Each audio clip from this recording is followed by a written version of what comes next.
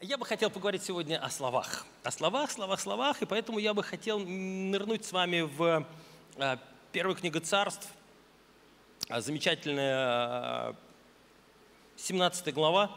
Все мы, как все проповедники очень часто ошибаются, говоря, все мы знаем, что это история, а никто не знает, о чем там история. Там история о Голиафе и Давиде, и мы, о, точно, вспомнили, да, это же в царствах, точно-точно, 17 глава. Но я бы хотел предысторию почитать, и проповедь будет называться «Когда нужен герой». Когда нужен герой. Мы все хотим быть героями, ну, мы все хотим быть героями.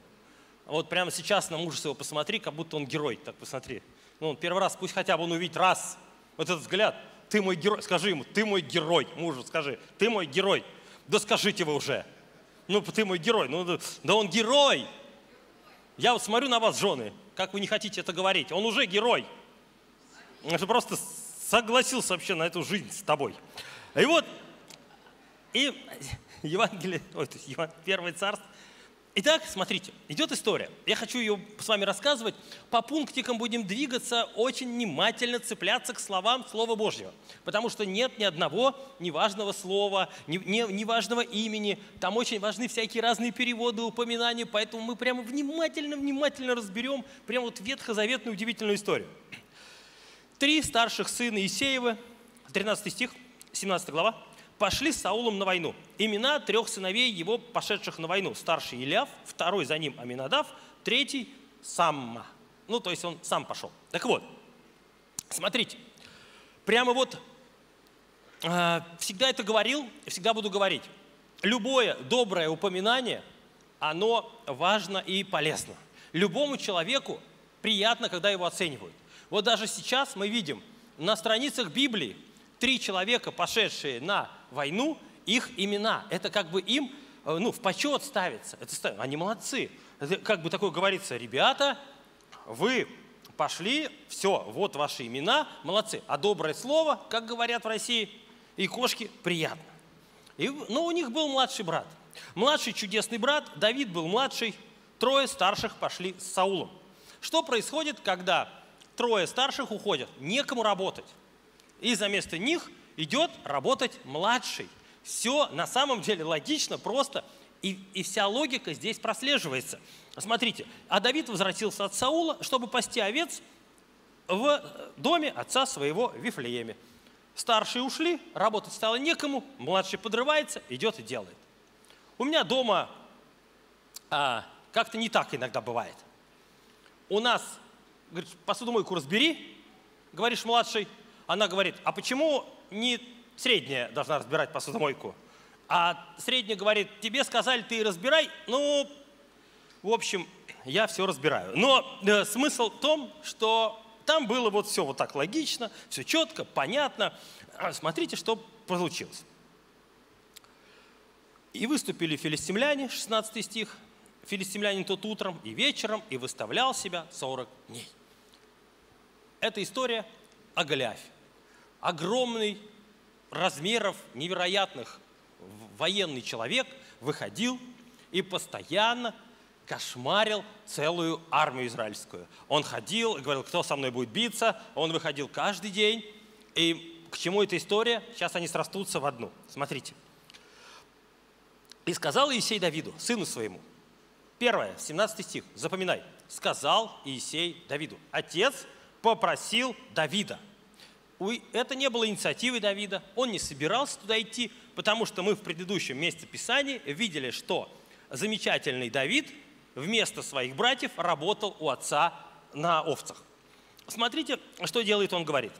Сыну своему, возьми для братьев своих, возьми для братьев своих, пункт номер два, и накорми их, возьми ефу сушеных зерен и десять э, этих хлебов отнеси поскорее в стан братьев. Накорми братьев – Следующее.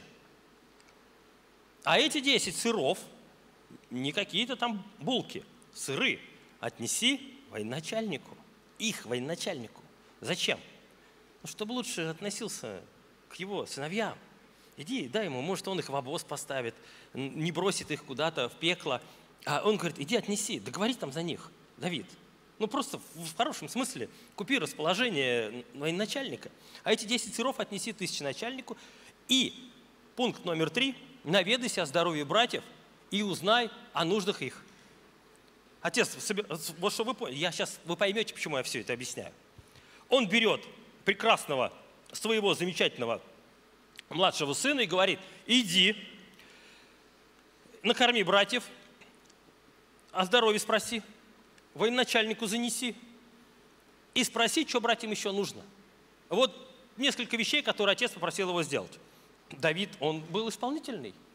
Он не был нашими детьми. Он такой подорвался и пошел. Все собрал, смотрите, что происходит дальше. И встал Давид рано утром, внимательно, 20 стих, поручил овец сторожу. Нет ни одного места в Библии, где просто так написано. Он не просто так поручил овец сторожу. Запомни, пожалуйста, он поручил овец сторожу.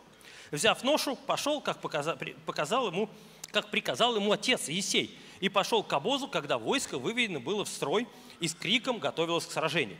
И расположились израильтяне, и филистимляне, строй против строя, красиво. Давид, оставив ношу обозному сторожу, побежал в ряды и, придя, что сделал? Спросил братьев о здоровье. Он раздал еду обозному сторожу это, этому это, все сделал. Перед этим поручил овец сторожу и, по словам отца, нашел братьев и Последний пункт, он просто их спросил, со здоровьем все хорошо? Есть какие вопросы? Они говорят, со здоровьем все, у нас, вот видишь, битва начинается.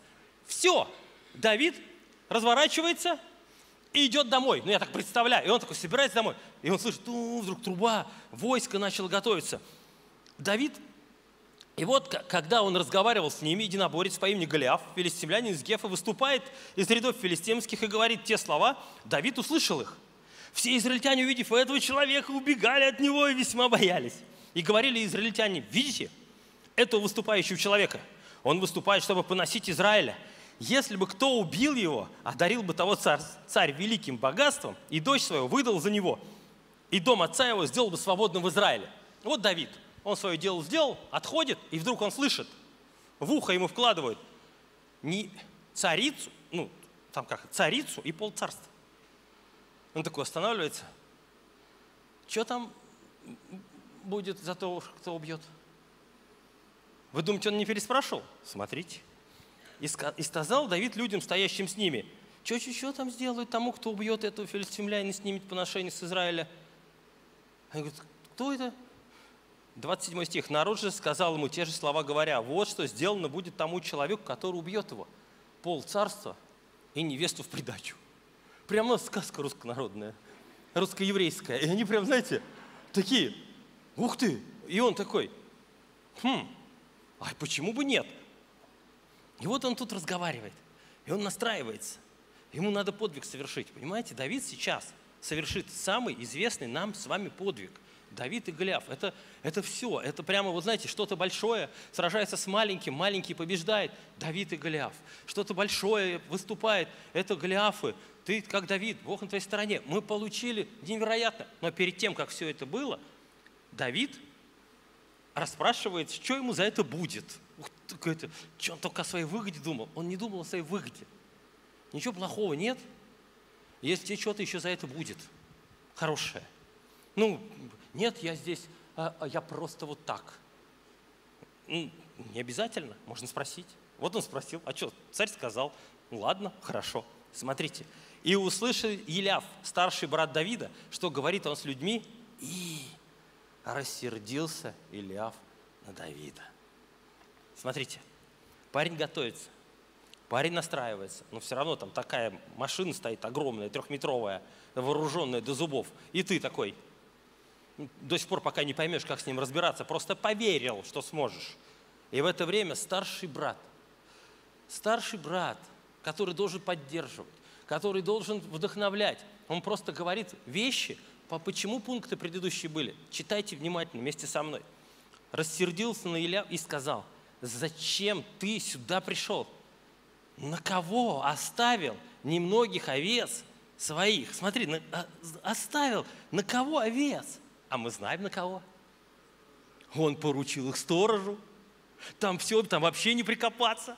Там все было сделано по пунктикам. Смотрите, ничего не бывает такого вот, как будто бы зря написано в Библии. Он говорит ему, на кого оставил ты овец тех пустыни? Я знаю, высокомерие твое, дурное сердце твое. Ты пришел посмотреть на сражение. А нет. А вот нет. Вот, вот, вот не на сражение он пришел посмотреть. Он пришел-то зачем? Военачальнику дать, чтобы тебе полегче было, вам еды принести, узнать, какие у вас нужды. Отец ему сказал прийти, а ты, старший брат, просто разматываешь его перед самым важным моментом в его жизни. Вот как раз когда нужна поддержка, как раз когда старший брат должен сказать, нормально, Давид, что, ну, иди, я тут постою, потому что я боюсь. Вот, а ты, ты молодец, ты самый мелкий у нас, ты справишься. И вот знаешь, и он, и вот этот вот момент, вот это, вот это вот все, как бы я поступил? А? Я бы сказал, ну и ладно. Вот теперь я точно посмотрю на мясорубку, что с вами этот тип сделает, с которым я мог бы разобраться, от которого вы 40 дней уже бегаете. А вот я не буду тогда. А вот ко мне неправильно отнеслись. А чего? Чего? Несправедливо как? Я овец оставил.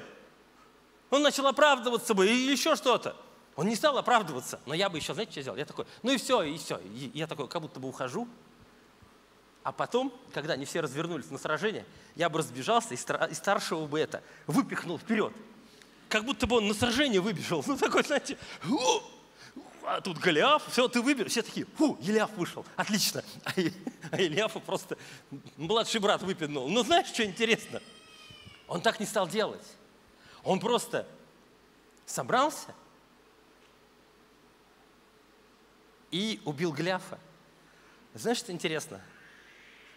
Я не знаю, до этого хотел убить Голиафа Давид, но я думаю, в этот самый момент, когда все стали говорить «ты», когда стали обвинять его в чем-то, он такой сказал, а я тогда палкой убью. Такой, палкой. Вот не то, что вы тут вооруженные все, мечи у вас там, еще все-то. Я с палкой пойду. И даже потом ему орал этот из Голиафа, Голиаф замечательный, он говорит, ты что на меня с палкой вышел, я что, собака? Он говорит, а как собаку его убью? И Давид умел кое-что фильтровать в своей жизни. Каждый раз самый главный враг – Самый главный враг твоей жизни перед тем, чтобы что-то сделать, это слова близких тебе рядом стоящих людей. И вот этот брат все сделал, чтобы Давид не пошел. Но Давид, он же был кто?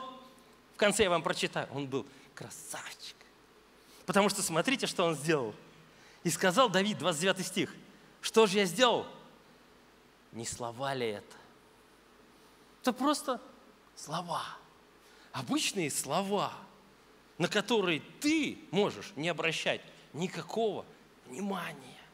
Это просто какие-то чьи-то слова, чье-то мнение о тебе, мнение о твоих способностях, мнение о том, что ты умеешь, что ты не умеешь. Просто кто-то высказал свое мнение. Почему ты должен из-за этого уничтожить свою жизнь, не совершить все эти подвиги на земле и все остальное прочее? Ну почему? Я не знаю почему. У меня ответа нет. Но здесь э, когда он вышел на филистимлянина этого, на Голиафа, в 42 стихе, и взглянув, филистимлянин увидел Давида, с презрением посмотрел на него, ибо он был молод, белокур и красив лицом. Представьте, ай, какой-то красавчик вышел, молодой, биться. Вот такой был Давид. Он не обращал внимания на эти слова. Слушайте, у меня дома собака живет. Ну, как собака. Как выяснилось, пробник собачий. Ну, потому что, ну, собака дома живет. И вот все, кто когда-либо ко мне приходил в гости, всегда было примерно так. Дверь открывается, собака на них бежит. Ну, вот собака, конечно, но и она бежит, шерсть такая торчит, она как будто бы больше становится на 2 сантиметра в объеме. Она бежит, и прям самое страшное. И все люди знают уже, и просто все идут мимо. И она а потом прыгает им на руки, начинает лизаться и радоваться. Вот примерно так же человеческие слова в твоем случае должны работать. Собака лает, караван идет. Собака лает, ветер носит. Давайте упражняться. Собака лает, мы деньги продолжаем зарабатывать. Собака лает, мы в церкви собираемся. Собаки лают, нам без разницы. Почему? Потому что это просто слова. И Давид, он говорит, это просто слова. Тогда я палкой убью. Хотел в доспехах выйти, чтобы вас до конца не унижать. Не, пойду, сейчас кирпич его брошу прямо. Вот просто взял кирпич. Ну, представьте, это не лепится полное. Армии стоят 40 дней. Я, может, я, может, я. Вдруг какой-то пацан идет, такой берет кирпич, на ему в голову. И такой, он падает, он подбегает. А раз, раз, все, поднял. Ура, в атаку. И, и все смотрят и говорят, и, все, и каждый, знаешь что? Ха, я бы тоже так смог. Конечно. Я вот, я просто уступил молодежи. Вот и все. И на самом деле, просто человек не обратил внимания на слова. Не обращай внимания на слова. Вот, обращай внимание на слова в Библии, которые сказаны. Смотрите, друзья, сразу же ныряем с вами в удивительную историю. Э, расскажу вам про другие слова. 16.21 Матфея. Матфея 16.21. С того времени, с какого-то удивительного времени, Иисус начал открывать ученикам своим, что ему должно идти в Иерусалим и много пострадать от старейшин, первосвященников, книжников и быть убиту и в третий день воскреснуть. Когда вам рассказывают историю о том, что ученики не знали, что Иисус умрет, воскреснет, он это завуалировал, они должны были об этом догадаться – ну вот поэтому они не пришли, поэтому они его предали. Слушайте, Иисус прямо говорил им, одно, второе, третье, пункт за пунктом он говорил. И каждый раз он им рассказывал, что с ним будет. И вот зачем он это рассказал им тогда? Потому что настало такое время, он переживал достаточно тяжелый период. Ему было сложно. Он трудный период он переживал в Гефсиманском саду, когда просил, чтобы эта чаша прошла мимо него. Трудный период он переживал, когда просил их бодрствовать с ним в молитве хотя бы час. И он так хотел поддержки. И он должен был совершить подвиг, Иисус. Он должен был совершить подвиг. Иисус должен был в, эти, в эту ночь выйти против этого Голиафа и победить этого Голиафа. Но у него были друзья. А, например, Петр, который что ему сказал? Следующий стих. Отозвав его, Петр начал прикословить ему. Будь милостив к себе. Господи, да не будет этого с тобой. Ой, как нам не нужна такая поддержка. Он говорит, у меня завтра подвиг. Ну, как у, помните, у Мюнхгаузена был фильм такой, там 8-20 подвиг, у него был план такой. У него завтра подвиг. И ну, люди говорят, не надо подвиг. Будь милостив к себе. Ну посмотри, какие могут быть последствия. Ну в смысле ты умрешь? Да в смысле им надо воскреснуть? Да это какая-то вообще ну, непонятная доктринальная вещь. Не надо тебе этого. И вот тут Иисус вскрывает, кто на самом деле говорит слова в жизнь твою, разрушая твою способность и пытаясь остановить тебя от свершений. И он говорит ему, он же, обратившись к Петру, сказал, отойди от меня, сатана, ты мне соблазн, потому что думаешь не о том, что Божье, но что человеческое. Каждый раз человек, останавливающий тебя от какого-то Божьего свершения, от каких-то финансов, там, по, по бизнесу, что-то, от любого свершения в твоей жизни, можешь понять, это не этот человек говорит. Это говорит останавливающий тебя дьявол – и не ассоциируй часто это человека, что это вот он прям конкретно. Нет, он просто ляпнул, просто брякнул какую-то чушь. Э, Иляв говорил Давиду, не зная, что Давид поручил сторож, он не читал с нами 17 главу первого царства, Иляв. Он думал, что да, мелкий, как обычно, бросил все, не прибрался, и все профукал, там овцы бегают где-то. Он не знал, он просто предположил, взял и сказал. Чаще всего негатив люди говорят в твоей жизни – предполагая, что вот в тебе есть этот негатив. Или как мы говорим, каждый судит в меру своей испорченности. В принципе, он сейчас с тобой разговаривает, смотря в тебе в глаза, как зеркало.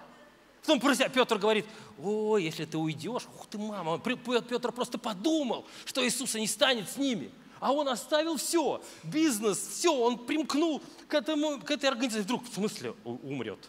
В смысле на крест? В смысле? Он, и он говорит, да не будет с тобой этого. А на самом деле говорит, и с нами. С тобой и с нами этого. Потому что нет, нет, нет, не надо. А давай ставим как есть. И он пытается ударить словами в веру Иисуса. И здесь происходит удивительный момент. Иисус говорит, отходи, отойди от меня, отойди. Смотри, не, не в смысле, не, он не говорит ему, а, ну ладно, не будет со мной этого. То же самое в твоей жизни. Когда ты начал, хочешь, я хочу какой-то там, знаешь, бизнес начать, ну, ну только не безумный, ну что-нибудь такое, хочу что-то новое, я хочу вот здесь учиться пойти, больше зарабатывать, что-нибудь еще. И люди вокруг тебя, слушай, тебе что не хватает? Слушай, ты что там это, знаешь, вот это, вот фраза такая есть. Всех денег не заработаешь, слышали? Так звучит, всех денег не заработаешь.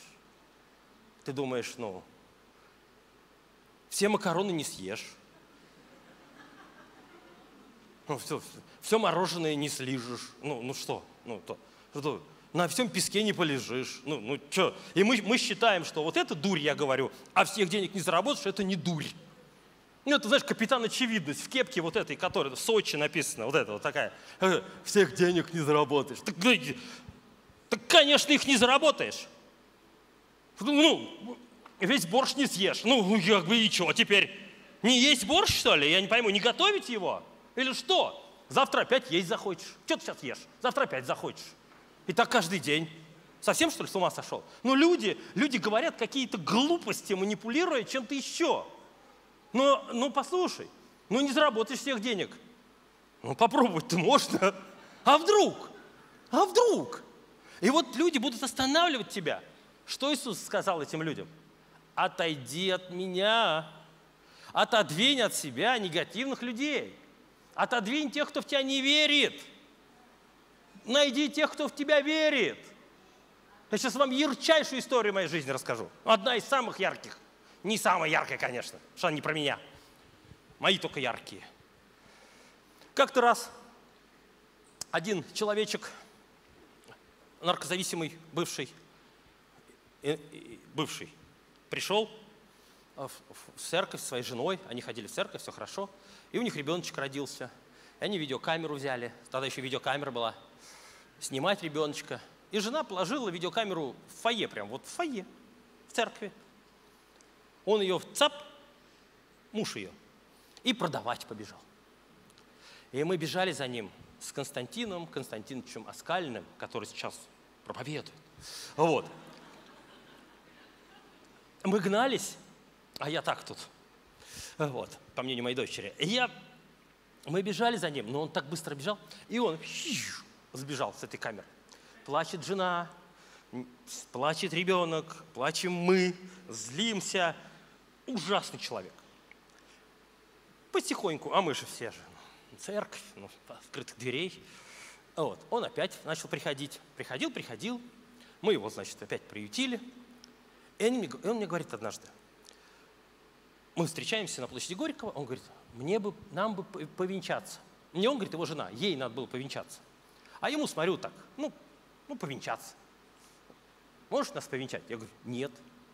Он такой смотрит, как нет? Я говорю, похоронить могу, венчать нет. Он говорит, как нет? Я говорю, а как я тебя буду венчать, если ты до сих пор камеру не вернул? Ну, и еще много каких косяков с тобой водится. И я такой отказал. Я говорю, вот наступит момент в твоей жизни, когда я скажу тебе и повенчаю вас. Посмотрю за тобой. Он еще там накосячил много всяких раз. И вот однажды у нас остров Преображения начинается. На Мочальном, кто помнит, это такое место. Надо было строить все, заново создавать инфраструктуру. И я набирал людей, которые туда могли бы поехать. Ко мне подходит Константин, Константинович, и говорит, возьми его, возьми. Я говорю, куда его возьму? чтобы он всю ночь по палаткам шарил? Ну, вот что я его возьму? Чтобы он что? Спер все, что осталось? Не, не допер до этого? Я говорю, как его возьму? Он, ну слушай, я вот поручусь, я говорю, если ты поручишься и будешь в наручниках с ним ходить по острову, я возьму, привяжи его, я не знаю, что сделал. Я не хотел брать, честно, не хотел. Потому что я только негативное говорил в его сторону. Я каждый раз хотел, чтобы он что-нибудь украл, чтобы я его догнал. И вот мы едем туда, и чего-то там происходит с ним. Не знаем мы, что происходит с людьми, которые начинают служить Господу. Именно служить людям, палатки ставить, там э, туалеты копать, что-то еще. Я не знаю, что происходит с тобой, когда ты начинаешь физически служить людям, но у него произошел остров преображения. Он вытащил весь остров на себе. Он там эти, я не знаю, все прям. И он уезжал последним. Он первый приехал, последним уезжал.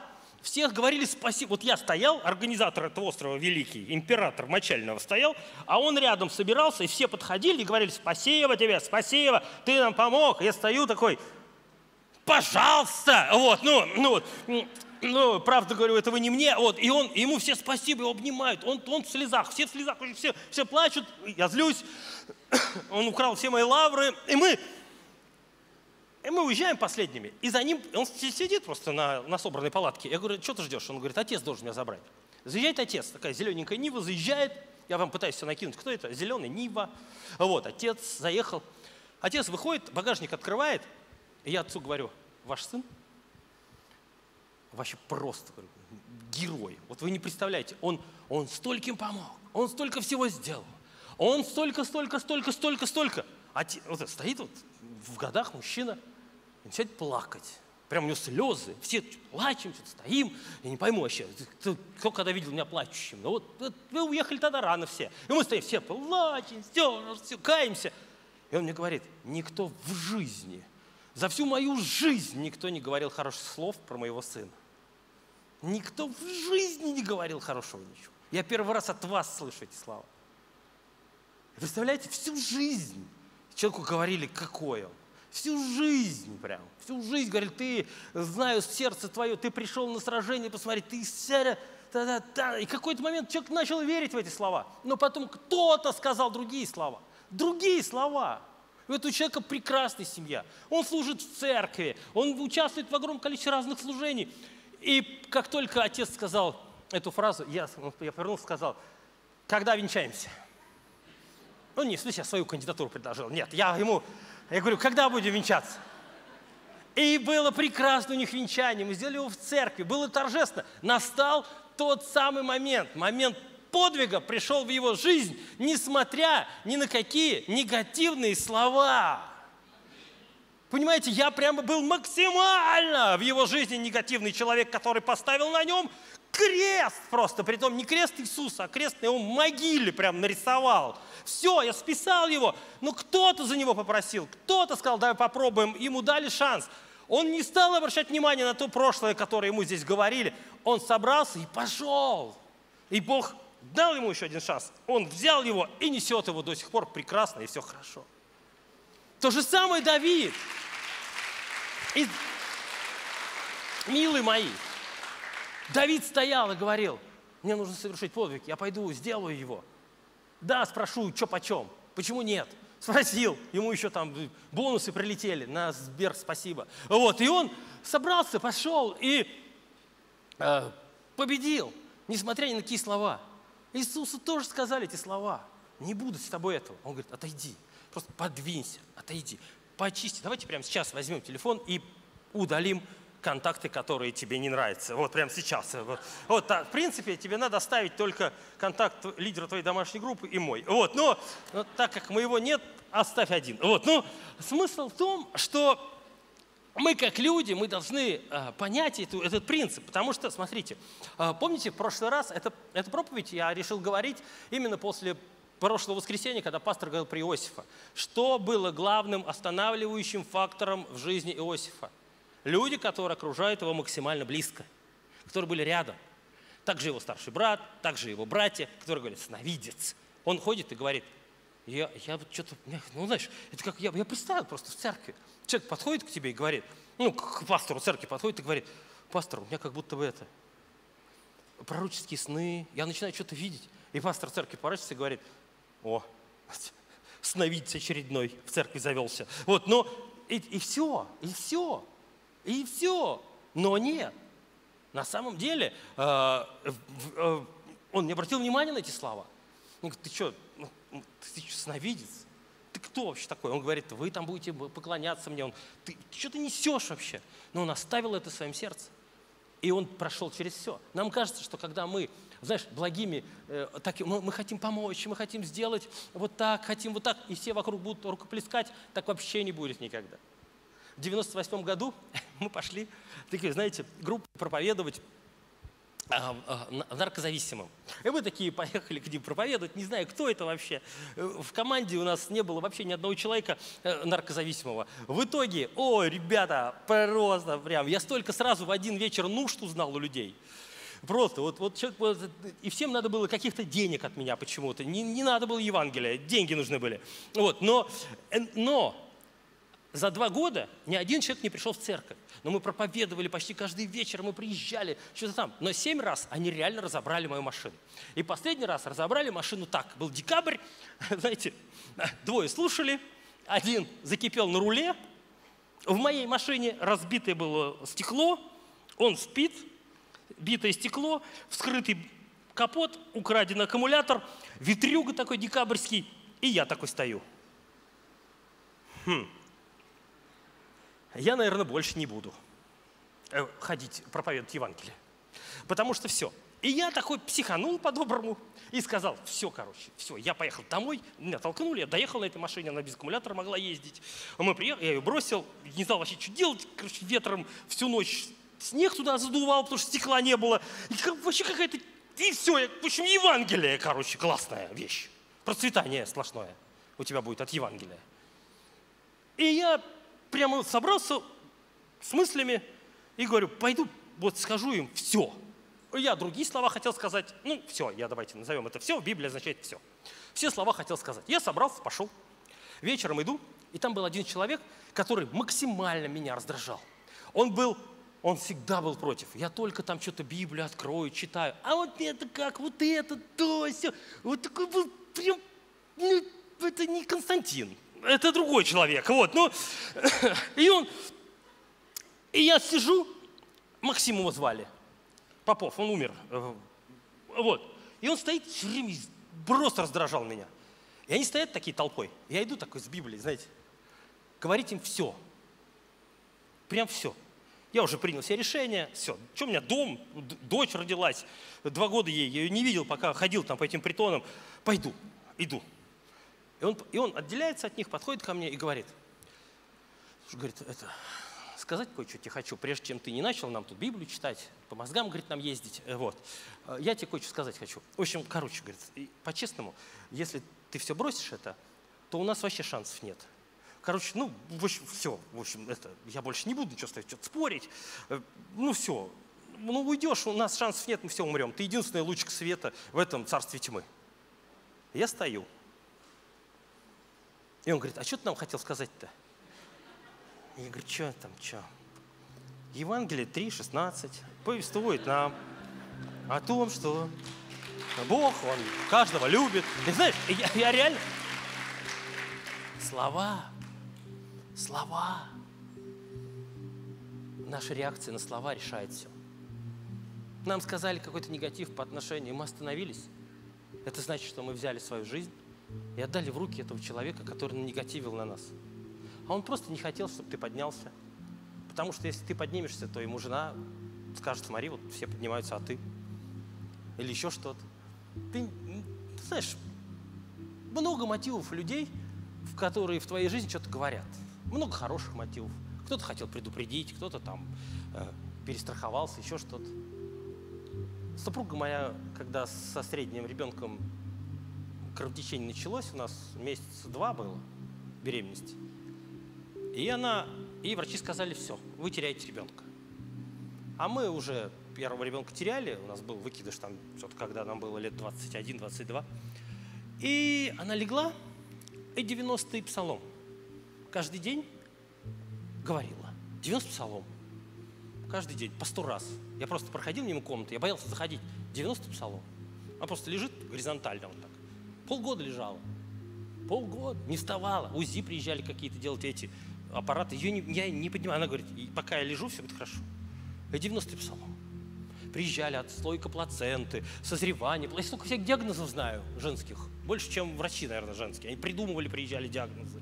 Как там экспериментировали с ней. И приехали одни христиане к нам в гости. Они сели у ее кроватки одна села и говорит, ну так бывает, может разное произойти. У меня супруг моя повернулась к ней и сказала, иди отсюда, быстрей, пока я мужа не позвала. Он тебя в окно выкинет. Она с благими намерениями приходила. Она просто хотела подготовить мою жену к негативному сценарию. Бывает же? Ну, бывает. Вопросов нет, бывает. Но не после того, как ты 90 псалом провозгласил, полгода пролежал и продолжаешь верить. Вот сейчас эти слова не нужны. Ну, не нужны. Они нужны другие слова. И поэтому это просто слова.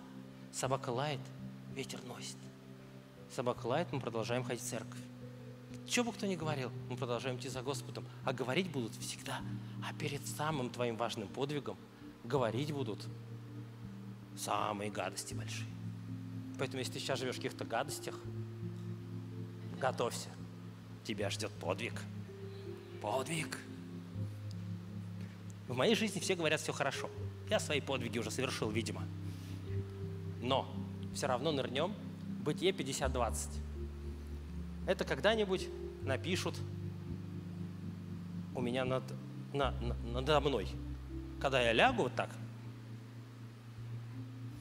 у меня будет это написано на, на, на памятнике. Там у, у всех будет что угодно, у меня памятник. Может, даже не на кладбище, может, в центре города. Вот, и я, значит, на мини, на, на что, в Архангельском соборе – заповедую похоронить меня. А вот, ну, вы рядом с Мининым положите. А вот, ну, может, я больше сделаю. Так вот, Бытие 50.20 написано «Вы». Да? Вот вы замышляли против меня зло. Но Бог обратил это в добро. Представляете, какая интересная Божья логика. Бог обращает в добро зло, которое люди против тебя планируют. Я открою вам тайну. Если не хотите, чтобы человек рядом резко подрос в бизнесе, резко у него стало все хорошо в семье, и вообще все стало здорово в церкви, не говорите ничего плохого про него.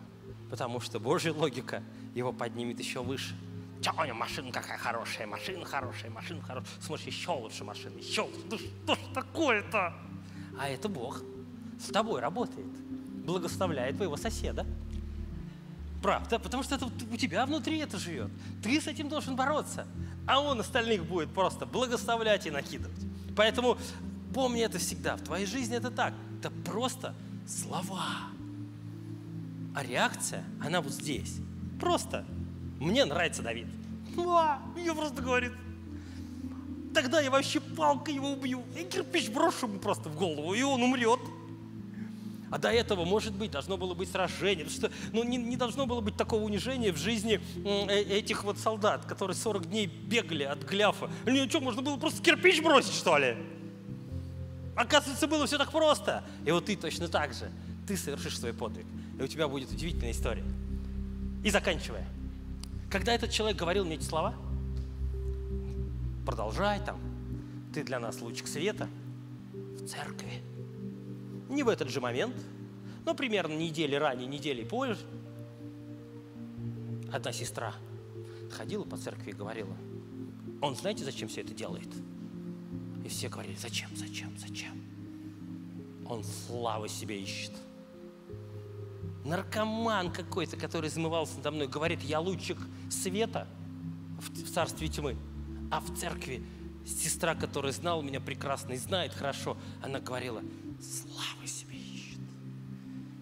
Знаете, что интересно? Славу я так и не нашел. Вот, но я нашел там, там Сергея, еще там это, но, но пусть говорят, есть программа, пусть все туда едут, там снимаются, у нас подвиг. Аминь. Поэтому поднимаемся, молимся. Меня в институте спросили, ты что, в какую-то церковь ходишь? В институте, мне было 21 год, я только покаялся. Ты что, в эту церковь, что ли, ходишь? У меня другого ответа не было. А ты что, нет?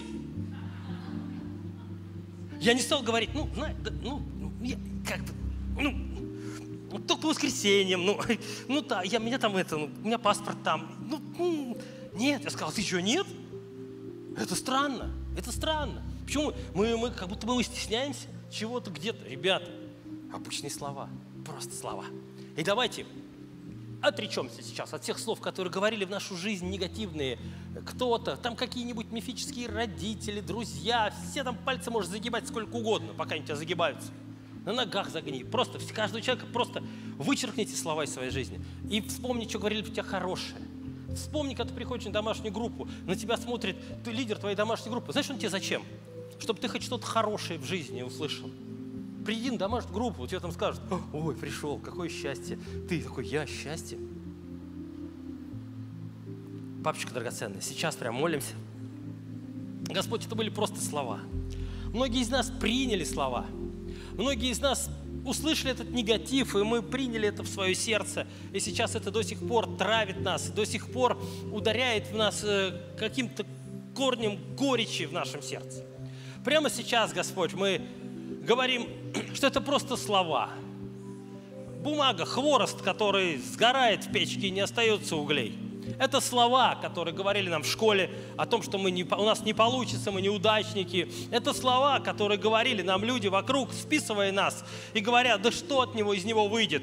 Все из него выйдет. Выйдет из него подвиг. Господь, я знаю, что это просто слова. Мы поверили, мы виноваты, Господь. Но сегодня мы меняем это. Мы принимаем Твои слова. Мы принимаем слова Божьей милости, Божьей благодати в свою жизнь, Господь, принимая от Тебя, что мы царственное священство, что мы люди, взятые в удел, что мы особенные люди, те, кого весь мир не был достоин, Ты это, и мы Твоя церковь, мы Твоя церковь, Господь, мы провозглашаем истины, и мы, может быть, Э, сумасшедший для этого мира, но потому что мы знаем, как правильно. Господь драгоценный, мы молимся, благодарим Тебя, молимся, чтобы Ты снова и снова, Господь, отменяем свои слова, которые говорили своим детям, которые говорили своим супругам, Господь. Мы прямо вот виноваты, Господь.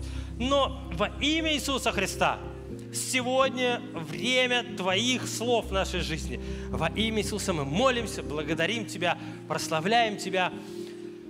Аллилуйя! Ой, пошумим, пошумим! Да! Аллилуйя! Аллилуйя!